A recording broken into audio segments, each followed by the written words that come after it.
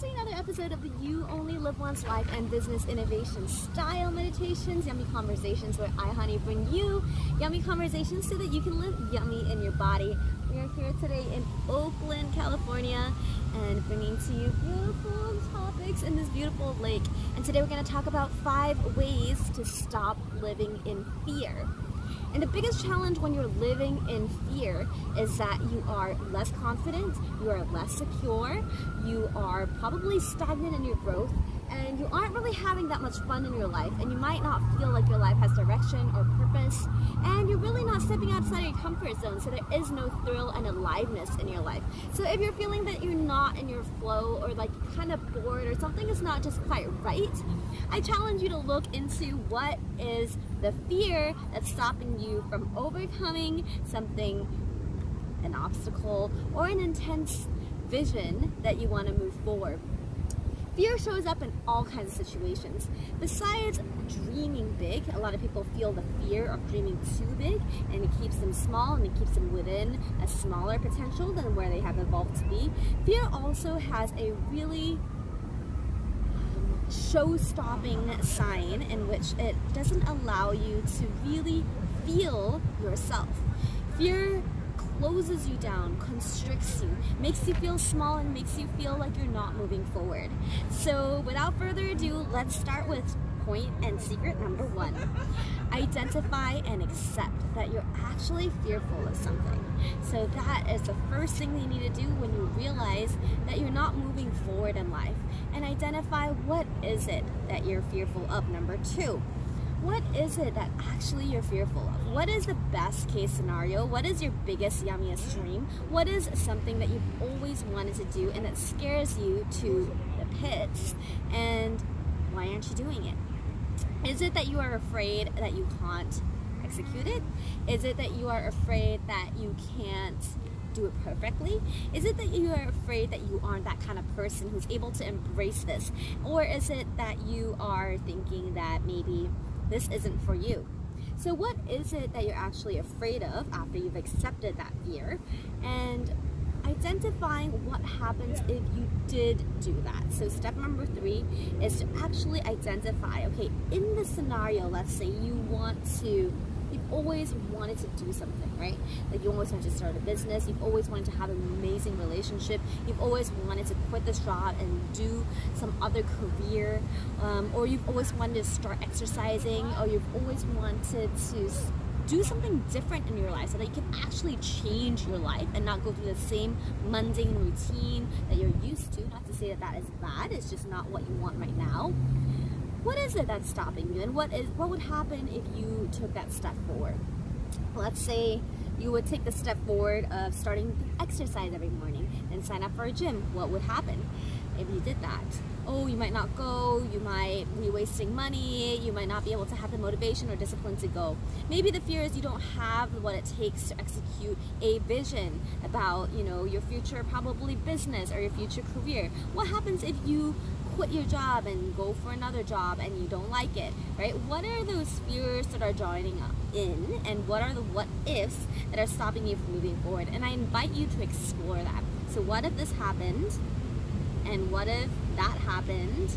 And what if that fear were to come true? And what if you really were going to be broke and nobody's going to be your friend? And what if really, you know, you're going to be on the streets? What is your biggest fear? And I invite you to explore that. Because what happens is when we look at what our fears are and we realize that, you know what, the worst, worst, worst case scenario probably is something that like, yeah, you know, if I follow my dreams, I run out of money, I can't make rent, I will be homeless on the streets, starve to death, and um, and then what's the worst that could happen after that? No one will be my friend. Everyone will hate me. I will be a failure. And um, and then what's the worst after that? You know, death, maybe? Or not, you know? And, and there comes a point when you discover what that fear is and you follow the train of what if the worst case scenario happens, you will hit a rock bottom. And chances are, are you gonna stay in that rock bottom? I don't know. Maybe, yeah, maybe not. For me, like every time I had explored the fear of, you know, executing this thing that is so threatening and so risky to my identity and so crazy that I can't even imagine myself doing, the worst that could happen is nowhere close to what what I'm afraid of. Because the worst that could happen, go broke, be on the streets, can't make rent, and then eventually just get a job, you know, and then work your way back up. Worst case scenario, get a minimum wage job and then work back up, right? Work back up in terms of money. Let's say you go for the guy or the woman of your dreams, and the worst case scenario is that it doesn't work out and you're single. And the worst case scenario is that you're single forever. And, um, but at least you knew what it was like to go for what you wanted. Worst case scenario is you lose, um, you lose a chance on going for one woman or one man, and you have to live with regrets.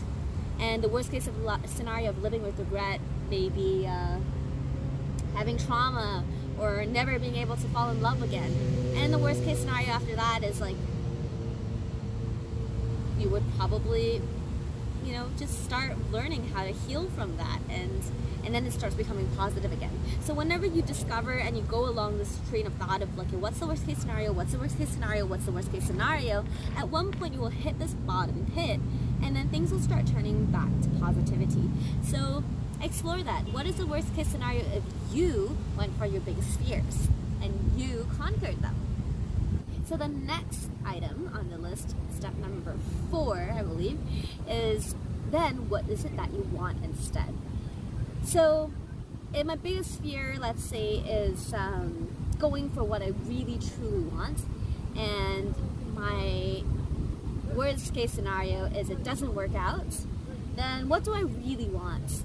I want it to work out, you know. My best case scenario, which is what you should think of, is that it works out and I'm actually happy and I am able to embrace my life and embrace my courage and embrace my value and embrace what I truly deserve in a man, in a woman, in a team environment, as a leader, a community. Um, truly go for an impactful life that you've always dreamed of, you know. And uh, the best case scenario is you do make an impact and you do influence a bit of positivity into the world. Um, and the best case scenario may be that you know, people get inspired by you and start doing their journeys and start going for their potentials and start conquering their fears because you did as well.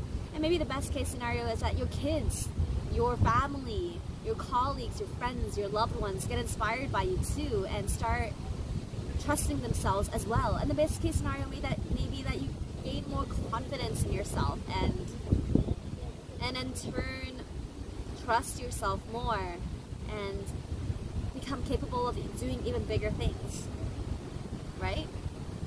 And so, right now, one more step is asking yourself what is the next step that you can take to conquer this fear? For me, I'm always challenging myself to conquer fears. So my talent is not singing, even though I'm gonna try to do it today.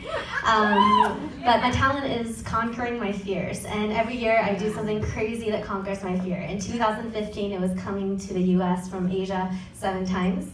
And then in 2016 or 17, it was publishing my book. And then um, this year, it's about like just traveling to eight different new countries and sharing stuff. And today, it's the first time I'm singing this thing for you guys. Um, um, I hope that this song is something that reminds you of your higher self. So if you also can tune into your own courage um, when you're going to do something that you've never done before um, and just kind of tune into that and remember you between the relationship between you and your higher self in the song.